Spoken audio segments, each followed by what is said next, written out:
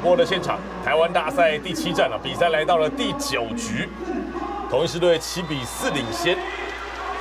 而中信这边呢，在九局上半也决定要更换投手哦，由李正昌来接替罗杰斯，把中杰个给压了上来啊。对。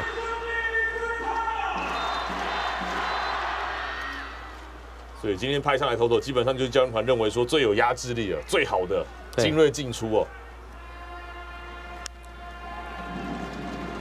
这也是李正昌在今年不好。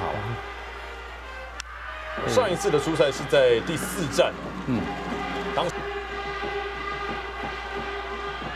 两个好球没有坏球，游击方向的滚地球将会扑下去，没有拦下来，穿越形成了安打。呃，林佑乐的状况真的确实是很不错哈。这个球其实压的比较外侧一些些，也没有到很甜哦，还是被他打成安打。把击球点给掌握到了，对，刚刚好穿了出去。哎，分数师队是多了三分哦。嗯，关键还是在下。嗯哼。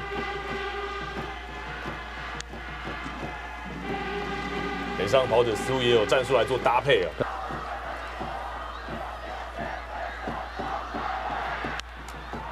这个球顺势打到了左半边，左手已经是掌握到了飞球落点，由陈子豪完成了接杀。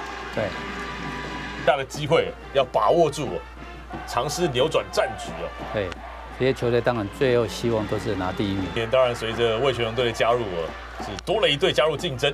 嗯哼，陈列线呢，今天也可以。打进场内，游击方向的滚地球，江辉宇先传岳东华，再转传一垒，这是一个六四三的 double play。